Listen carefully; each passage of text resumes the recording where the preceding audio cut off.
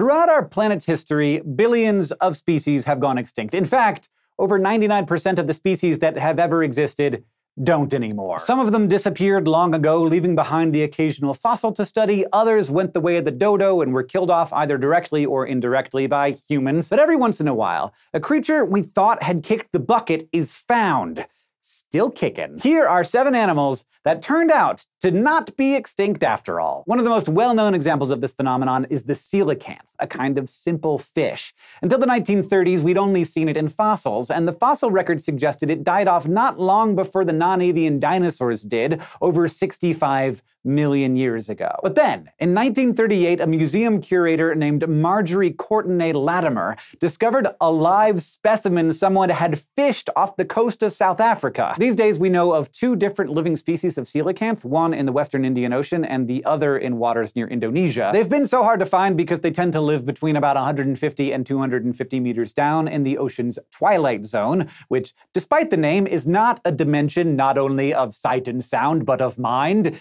It's just pretty dim down there. On top of that, coelacanths also gather in caves during the day, only to leave at night to feed. But now that we've found them, we've learned that they're kind of awesome. The coelacanths we found are nearly identical to fossils hundreds of millions of years old, so they have a lot of anatomical features we've never found in modern animals. For example, they have a hinge inside their skull that's unique among all living vertebrates. It allows the back of their skulls to swing upwards, so they can basically open their mouths super wide. So basically, they'd be perfect dental patients. Uh, if they weren't fish. I mean, I don't know. Maybe they have tooth problems. Coelacanths are also the only living fish to have seven-lobed fins, and we only know of one other living fish with lobed fins at all, the lungfish. Four of the coelacanth's fins are paired up, and they move similarly to how land-based animals might move their legs. Because of this, scientists used to think that the coelacanth could be the so-called missing link between sea and land animals, but genetic sequencing has debunked that. The role most likely goes to the lungfish, which is the coelacanth's closest relative. But don't worry, coelacanths, we still think you're special. Like the coelacanth, we used to think that the kha-nyou or Laotian rock rat was long gone. But instead of being found by fishermen, this animal was spotted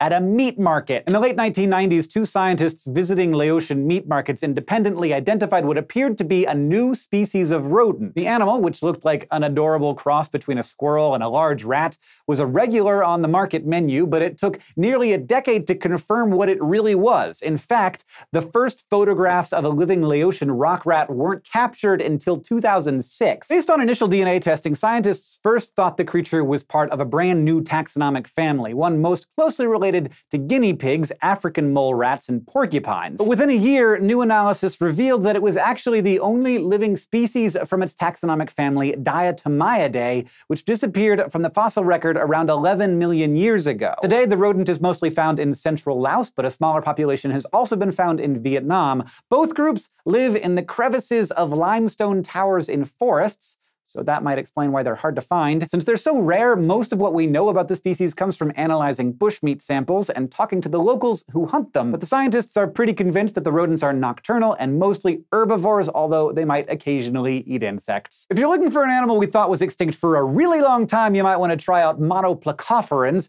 a type of mollusk that we thought disappeared around 400 million years ago. And then, in 1952, 10 live specimens were collected from the seafloor near Costa Rica over 3,500 meters below the surface. After that, researchers realized that monoplacophorans had actually been found before as early as 1869, but they were all incorrectly identified as limpets, a kind of snail, because of their similar shape. Today, we found around 30 distinct species, and all of them fall into the subcategory Tryblidia. As the name suggests, monoplacophorans have a cap-like shell with just one plate. In fact, their shell microstructure and musculature are basically identical to those found in fossils half a billion billion years old. But a lot about them, including how they grow and reproduce and their relationship to other mollusks, is still a big mystery. They're so simple that researchers once believed they could be the original mollusk from which all others descended, and because they show signs of segmented organs, they were also seen as a potential missing link between all mollusks and annelids, or segmented worms. They probably aren't either of those things, though. Newer research suggests that instead of being the OG mollusk, they're actually a super specialized branch on the mollusk family tree, which is only getting more complicated as we learn more about it. Mollusks might be simple, but they are not the simplest animal on our list. That honor goes to the Neptune's cup sponge, which was first discovered around 1820 off the coast of Singapore and was very quickly harvested to extinction, or so we thought. These sponges could grow to over a meter tall and wide, and their cup-like shape was so convenient that people actually used them as bathtubs for their babies. Because they were so large, they were a valuable collector's item for individuals and museums, and we kept harvesting them until they were almost all gone. The last time anyone recorded a living one was 1907, at least until 2011, when scientists discovered two living specimens in the waters off Singapore's St. John's Island. Before then, in the 1990s, we'd seen dead sponges wash up on shore in Australia, so there was some evidence they weren't extinct after all, but it took over a decade to find these live ones. The two sponges were young, only about 30 centimeters in diameter, which is nowhere near as large as they could grow to be. But they did teach us that these sponges don't grow as slowly as we used to think. The two young sponges grew several centimeters over just a few months, which is a lot compared to other species of sponge which only grow that much in a year. As of this May, three more live sponges have been discovered, and to help conserve the species, they've been transplanted so that they're close enough to each other that they can reproduce. It's safe to say we will not be using them for baby baths anytime soon, or ever. Let's not make that mistake again. The first fossils of the Majorcan midwife toad were found in 1977 on the island of Majorca in the Mediterranean. Based on those fossils, researchers thought it had been extinct for a few thousand years, probably because Romans had introduced predatory snakes to the island. But only three years later, we found live ones. Midwife toads are not especially talented at helping others through labor or anything. The name comes from how the males care for fertilized eggs. They carry a string of 7 to 12 of them wrapped around their hind legs until they hatch, like a little tadpole fanny pack. These tiny toads only grow to be 4 centimeters long long, and they used to be found all over Majorca, but invasive species have pushed them into the northern mountains, where they live in small streams carved into limestone. Thankfully, active breeding programs across Europe have existed since the mid 1980s, and the first toads bred in captivity were reintroduced to the island in 1989. So far, these conservation efforts have been considered successful, and the toads were even reclassified in 2004 from critically endangered to vulnerable, so things are looking up. Meanwhile, just east of Australia, you'll find the 10 kilometer long Lord Howe Island, formerly the home of the creatively named Lord Howe Island stick insect. It's also nicknamed the land lobster or tree lobster, depending on who you ask. They are not as big as actual lobsters, but they can grow to be 15 centimeters long or about as big as your hand, which, if you ask me, is bigger than any insect really needs to be. Either way, we thought they'd been wiped out not long after 1918 when a shipwreck on the tiny island introduced a bunch of black rats that would have considered stick insects a really tasty snack. But it turns out that about 25 kilometers away on an even smaller volcanic outcrop called Ball's Pyramid, a very tiny population survived, and we finally found them in 2001. Unfortunately, Ball's Pyramid is not an ideal environment for them. These insects used to live in forests in the hollows of tree trunks, but there aren't any forests on the outcrop. Instead, they hide in holes full of plant debris, and they can only feed on one plant that grows there, the tea tree, which can really be a problematic eating strategy, as pandas have found out the hard way. In 2003, two insects were brought to the Melbourne Zoo to begin a breeding program, and so far, over 14,000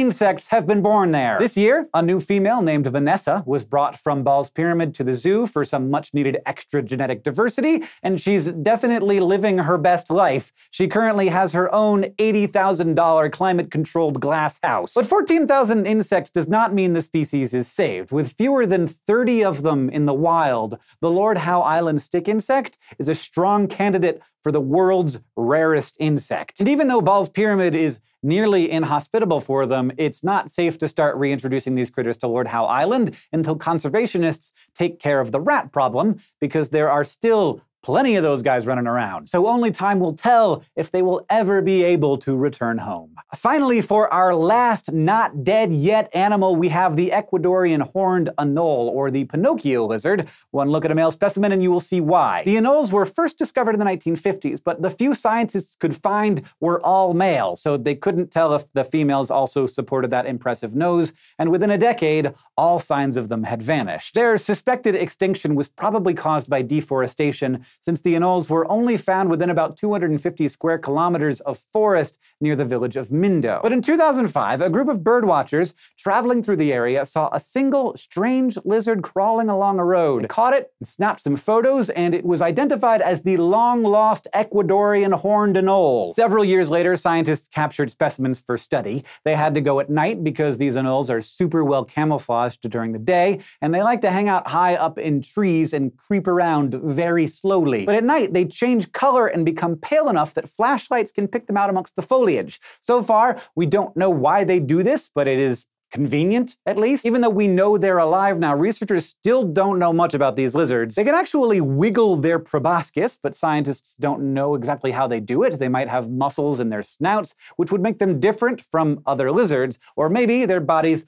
pump fluid into and out of them. If nothing else, researchers are pretty confident that the proboscis is used for mating displays as opposed to like fighting other males. That's partly because they're super flimsy and would make for terrible nose swords, but also because of observing males flourishing them around before getting it on with their partners. We, of course, don't know exactly how many Ecuadorian horned anoles there are, but so few of them have been spotted that they are listed as an endangered species. Hopefully, we can keep them and their habitat around long enough to get some answers. No matter what the pressures on these organisms that have pushed them so far out of our grasp that we just thought that they were gone, it's always an exciting moment for science when a species seems to come back from the dead. Some of them act like little time capsules from Earth's past, and all of them help us better understand the family tree of life. And hopefully, we will be able to keep them alive and well for years to come. Thanks for watching this episode of SciShow. If you love learning about what life used to be like on Earth, including about some animals that did go extinct, you can check out our new sister show, Eons, over at youtube.com slash eons. It's so good. I'm loving doing it. I just the scripts are so thank you to all the writing staff there. It's been such a wonderful journey into the marvelous and humongous history of life on Earth.